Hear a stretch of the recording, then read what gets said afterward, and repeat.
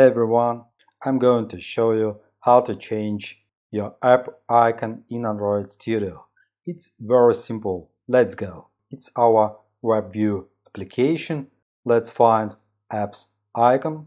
It's uh, the default icon. I replace it to the main screen to see it after the changing. Next, download your PNG icon.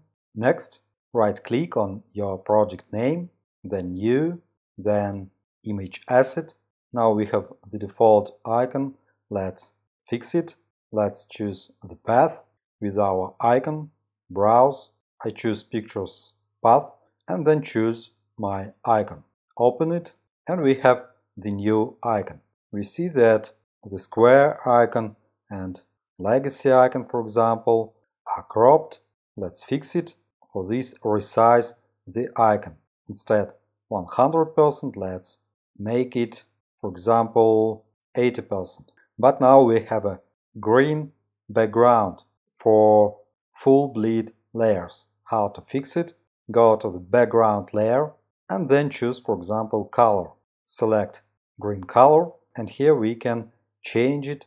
For example, the dark color. This looks better. Or we can choose, for example, other color. Then choose the gradient, blue gradient, and here we can choose the similar color. For example, here.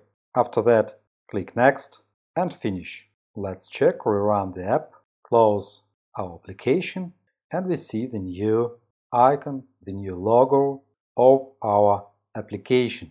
I hope this video was helpful. Thanks for the watching. Like, subscribe.